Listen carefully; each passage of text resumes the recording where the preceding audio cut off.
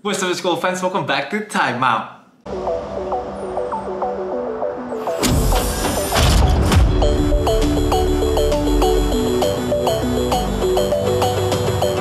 Balik dengan gue Ricky Padilla, kita kembali lagi ke info basket harian dari si 20 November 2021 Time Out Gang, sebelum kita masuk ke Time Out hari ini Gue mau kasih tahu kalian aja, tadi gue baru aja kelar untuk interview Trash Talk bersama Andakra Prastawa. Kita ngobrolin mereka di Vegas ngapain aja, gimana juga pengalamannya ngelawan The Marcus Cousin And juga persiapan mereka nih sebelum nanti akan tanding di FIBA World Cup Qualifier melawan Lebanon. Itu tanggal 26 sama 28 kalau nggak salah, kita live chat lah ya untuk game tersebut dan gue penasaran ya sama Time Out Gang juga kalian, uh, gue butuh feedback dari kalian. Kalau kalian tuh sebenarnya paling favorit itu di Time Out tuh segmen yang mana sih? Kalian bisa tulis juga di comment section di bawah. And ya yeah, besok belum tahu nih ada Time Out atau enggak ya tergantung gamenya seru-seru atau enggak ada topik yang menarik atau tidak uh, untuk dibahas besok. Jadi itu aja sih announcementnya. Kalau gitu langsung kita masuk ke comment of the day. Comment of the day datangnya dari Gino Emmanuel. Ini ada kucing di sini, Peach namanya, dia lagi main-main jadi suara mainannya barusan bunyi. But oke. Okay. Gino Emmanuel uh, Warriors bagus banget bisa comeback. Lakers juga bagus saat tertinggal. Bagusnya nggak usah main tapi ya.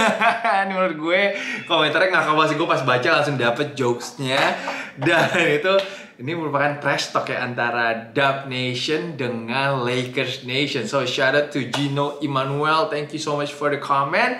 Um, ya yeah, Lakers hari ini pun juga nggak membantu fansnya mereka karena mereka hari ini kalah dari Boston Celtics dengan skor 130-108. Ayo fansnya Lakers masuk ke goanya, barisnya yang teratur ya. Tapi tenang aja, hari ini makanannya enak, buffet makanannya dari hotel karena ada LeBron James di sana kan ada King James, fasilitasnya jauh lebih bagus seperti yang kemarin ada di comment of the day. Tapi LeBron ternyata comeback juga nggak ngebantu Lakers untuk memenangkan game hari ini. LeBron main 30 32 menit setelah absen 8 game. Uh, tapi he was okay, he was he looked pretty good, menurut gue decent, 23 poin. Tapi hari ini top scorernya adalah Anthony Davis dengan skor 31 poin. Nggak apa bunyi-bunyi dikit, gue nggak tahu sih kalian bisa dengar apa nggak sih bunyi mainannya sih. Tapi um, semoga sudah dibantu sama Ciselin. Ini no cut, no editing, langsung aja kita terus berjalan. Nah, Nah, seperti gue bilang, AD top scorer dengan 31 poin. Uh, AD pun terlihat mainnya lebih bagus dan lebih ngotot ya kalau ada LeBron di lapangan ya. Uh, tapi Lakers sekarang ini di bawah 500, rekornya 8 kali menang, 9 kali kalah. Uh, solusinya menurut gue sih untuk Lakers bukan nge-trade si Russell Westbrook. Walaupun gue tahu Lakers Nation ada mungkin yang marah, ada yang sebel sama Westbrook tadi beberapa kali nembaknya agak ngasal juga. Tapi menurut gue mereka udah punya tim yang solid nih. Masih nungguin Kendrick Nunn, masih nungguin Trevor Ariza untuk kembali. Menurut gue mereka tuh udah punya tim yang bisa untuk bawa mereka jadi juara sih. Jadi solusinya sebenarnya adalah menurut gue harus fokus dan jangan menyerah karena menurut gue itu body language-nya mereka kalau kalian perhatiin tuh jelek banget loh kalau lagi ketinggalan ya. Kalau mereka udah dalam keadaan ketinggalan, apalagi kalau ketinggalannya double digit itu udah kayak mainnya males-malesan, udah nggak niat, missing their assignment, lalu juga defensive rotation-nya jelek, and of course udah nggak menjalankan game plan mereka lagi karena juga nembaknya udah ngasal aja. Jadi ini yang harus diperbaiki sama Lakers sih menurut gue. Gue nggak tahu gimana caranya Frank Vogel atau LeBron ngomong ke pemain-pemainnya agar tetap uh, kalau dalam situasi apa pun harus menjalankan game plan-nya agar mereka bisa menangkan pertandingan ya. Jadi they just have to find that fire, that focus harus ada suaranya sih dari seseorang yang bisa mempengaruhi satu tim ini sih. Jadi uh, itu menurut gue solusi terbaik untuk Los Angeles. Dan gue gak tahu kenapa THT hari ini mainnya sayur banget ya Pak main-main THC sebelum ada LeBron balik tuh double-double. Hari ini gue gak tahu statsnya berapa yang pasti. Tadi pas gue lihat masih 2 poin doang gue gak salah. Tapi man, gue baru pick up dia di NBA Fantasy. Jadi man that sucks though for me ya. And bener sih kata Edi sih LeBron sih bilang gak panik sih LeBron tadi bilang katanya oh ya masih ada 65 game pertandingan oh masih ada 65 pertandingan lagi untuk mereka adjust untuk mereka bisa perbaiki kesalahan-kesalahan mereka aduh ngomongin Lakers biasa nggak tahu kenapa kalau ngomongin Lakers selalu seret lehernya Hmm. Gue gara-gara mungkin gue fans Clippers terus mungkin ada fans Lakers. mau guna-guna gue kali jadi seret-seret terus kok ngomong nih tapi yang pasti Man, gue setuju sama AD, man. They suck right now. Untuk Lakers, uh, Lakers fan, uh, Lakers fans, Lakers Nation yang sabar ya sekarang ini ya. Belum belum seperti fansnya Clippers kok. Gue jadi fansnya Clippers harus menunggu 50 tahun untuk masuk ke Finals Conference. Jadi kalian masih oke. Okay.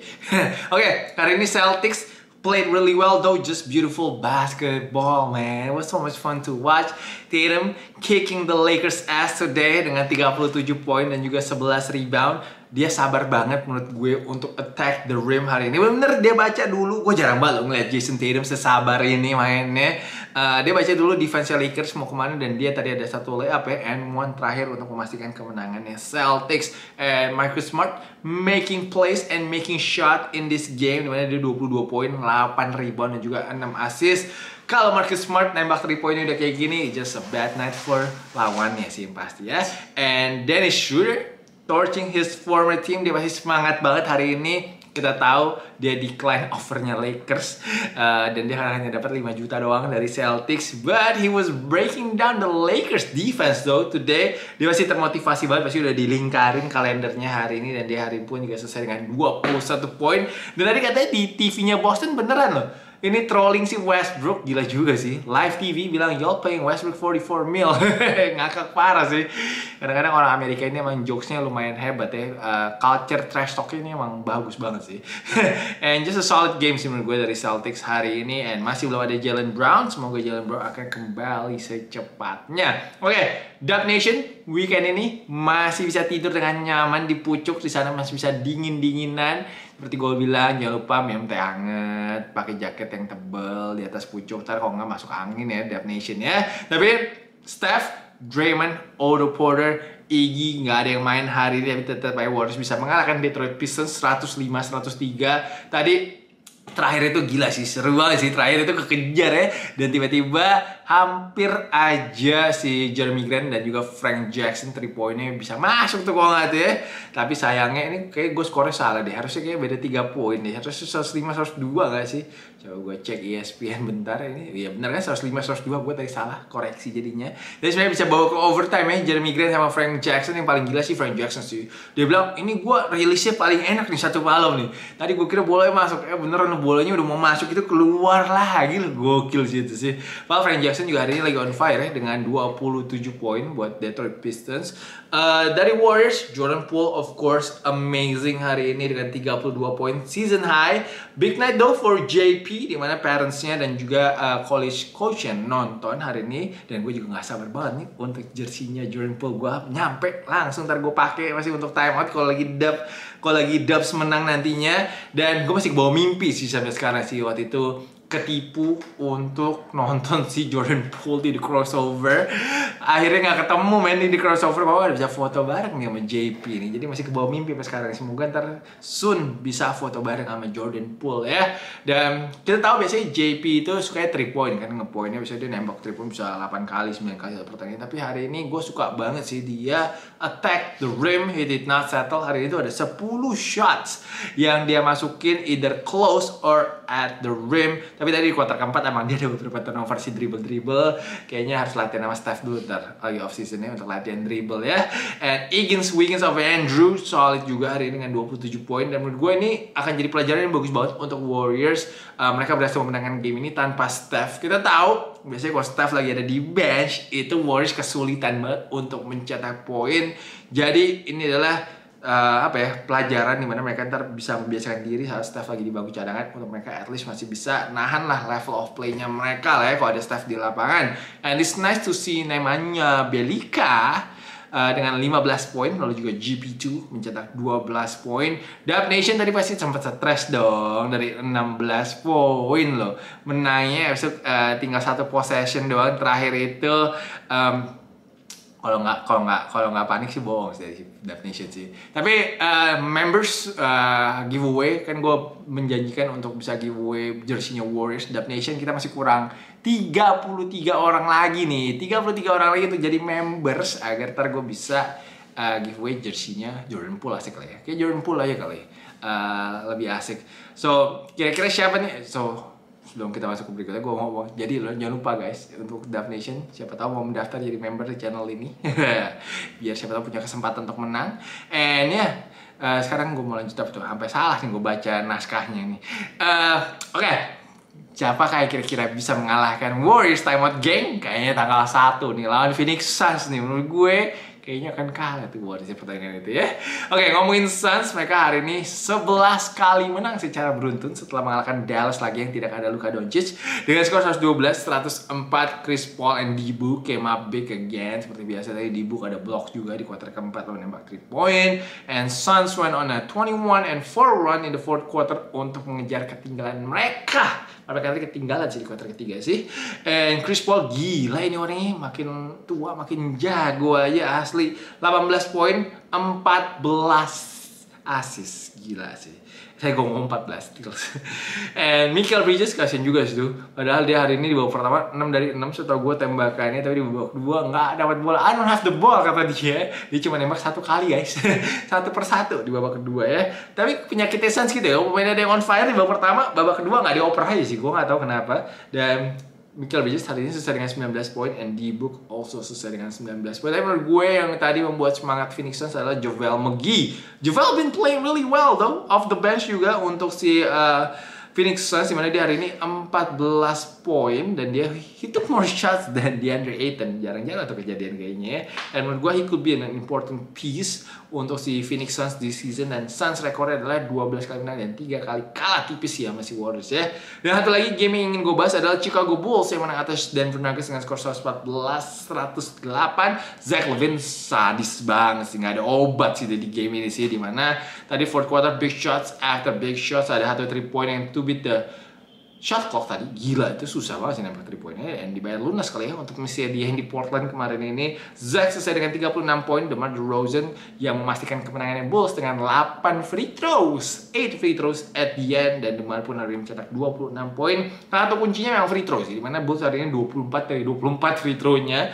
And duo Zack and DeMar ini benar little banget menurut gue. Mereka berdua tuh merupakan scorer paling banyak untuk kuarter 4 di NBA season ini. Tapi game ini memang super seru sih di mana Campazzo tiba-tiba tadi 3 point ini masuk terus, lalu juga Aaron Gordon unstoppable. Padahal hari ini gak ada Jokic loh, tapi Aaron Gordon tiba-tiba 28 poin. Gue baru drop dia cuy di fantasy. And juga Will Barton hari ini 23 points.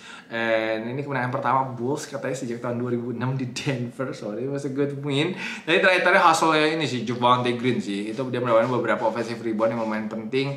And Derrick Jones Jr.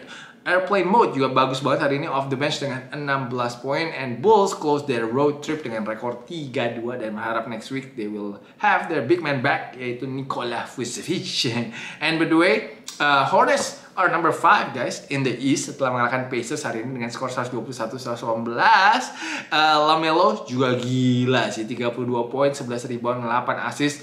Hornets on a 5 game winning streak ini serius loh nggak main-main nggak kaleng-kaleng lawannya. Ada Warriors ada Wizards yang mereka kalahkan ya. Dan semoga hot takes gue di video prediksi bersama Adi Yani semoga benar di mana gue bilang bahwa Charlotte Hornets akan masuk ke playoff tahun ini. Amin. Oke okay, sekarang berita sedih untuk fans Cleveland Cavaliers di mana point guard utama mereka Colin Sexton uh, mengalami robek di meniskusnya dan sudah dipastikan akan out for the season. Sayang banget ya, padahal Cleveland lagi bagus season ini kayak punya kesempatan untuk masuk NBA playoff. Tapi cedera semua pemainnya sekarang ya.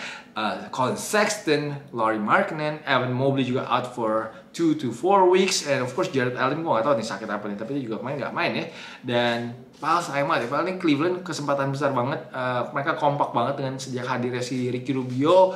Karena kalau nggak ada Colin Sexton berarti Darius Garland dan juga Ricky Rubio akan bagus nih untuk yang punya uh, mereka di NBA Fantasy. Sexton not bad season ini, 16 poin per game dan shooting 45%. Tapi kasihan juga sih Sexton ya. Karena dia itu sekarang lagi contract year sebenarnya. Harusnya dia main sebagus-bagusnya agar dapat kontrak besar. Sekarang ini nggak tahu nih ntar statusnya gimana. Uh, seberapa besar kontrak yang akan dia dapat kita harus tunggu aja sih saat off season musim datang oke okay. Hari kita masuk ke prediksi, wah pilihan kita main salah guys. Clippers gue choke di babak kedua. Setelah tadi di babak pertama sempat sebenarnya unggul lumayan jauh ya, so kekejar kekejar, eh kalah guys, kelanjut malah lanjut terus kekejar aja, hancur banget. Uh, besok masih pusing sih belum tahu mau milih siapa tapi kayak gue milih yang gampang aja deh. Nggak usah dipikir-pikir terlalu banyak. Portland lawan Philly biasanya gampang salah sih. Tapi uh, I know Philly harus ngalahin Denver. Kemarin solid banget mereka ngalahin Denver tapi tetap lagi kok nggak ada Joel Embiid. Gue nggak tahu besok Matisse main atau enggak sih sama Dave sama Danny Green tapi nggak ada Joel Embiid. Portland playing really well. Mereka bisa ngalahin Bulls. They love the momentum. Mereka kalau lagi rest Uh, dua hari juga biasanya mainnya setelah itu bagus. Jadi let's go with Portland man. Uh, di home dengan Portland minus 6 semoga benar besok ya amin. Oke okay. top shoes hari ini nggak ada shoes jadi gue kita akan lihat outfitnya beberapa pemain. Yang pertama Josh Okogie. What are you wearing bro? Ini bajunya nggak banget sih. Terus dadanya ke mana-mana lagi. Ini stylistnya perlu dipercat sih. This is a bad taste man. Ini taste jelek banget bajunya sih menurut gue. And berikutnya ada Jordan Clarkson nih. Wah ini baru keren nih. Baru swag nih. Gue suka banget ya. Uh, yang diikat di pinggang tuh apa ya? scarf gede gitu kali ya. Lalu New Balance juga classic. I just love his style man. Jaketnya juga boleh sih ini si Jordan Clarkson. Oke okay, itu ada dua style yang gue ingin share kepada kalian. Sekarang kita pindah ke top place. Bulls hari banyak banget sih. Dang yang keren. Kita mulai dengan airplane mode. Throwing down this monster two-handed slam And lalu ada Zach Levine yang cradles the ball and then hammers the one-handed slam. Ini Lonzo gila nih. Passingnya ke DJJ, ini tadi to Neil. Uh, angle-nya susah banget sih, tapi keren banget nih passingnya. And of course the Giannis. Berikutnya dengan circus shot, ini nggak ngeliat kayak dilempar bola dan masuk. Dan Giannis juga make a big block man on Darius Baisley untuk make sure si Bucks memenangkan game hari ini. Dan terakhir Cody Martin with the dunk of the night facial on Goga Bitadze. And player of the day yang kita nggak bahas hari ini James Harden. 36 poin 10 ribuan 8 assist. Dia nggak berapa ya? 19 free throw nggak salah hari ini? Um, dia membantu Brooklyn hari ini untuk comeback dari ketinggalan 15 poin dan mengalahkan Orlando Magic hari ini. Dan itu kenapa gue memilih dia sebagai player of the day. Dan hari ini Brooklyn menang tanpa KD juga. KD uh, lagi cedera. So yeah big win untuk Brooklyn Nets at home. Eh, kebalikan yang netnya nggak pakai es, yang home-nya pakai es. Ah, minum lagi deh. Oke, okay. jadi tadi membantu Brooklyn Nets untuk mengalahkan uh, Orlando Magic at home. Parah nih. Sering lagi salah, sering salah, ah, lagi sering salah ngomong. Oke, okay, time out kita sudah mencapai di akhir acara ini. Thank you so much guys for watching and please enjoy your weekend hari ini hari Sabtu ya di Indonesia. Hopefully everybody have a great weekend. Hopefully everybody having a lot of fun this weekend. Go party. Udah bisa party belum? Kayak udah bisa party sih harusnya. Party and drink guys this weekend. Enjoy the life man. Enjoy life and drink some wine. Uh, eat good food. Yang belum cukup umur jangan minum yang cukup umur saya yang sudah boleh minum ya. And ya, yeah, that's all. Sebelum gua makin panjang lebar ngomongnya ngaco. So thanks so much guys for watching. Time out. Jangan lupa untuk like, jangan lupa untuk comment. And I will see you guys again very soon. Peace out.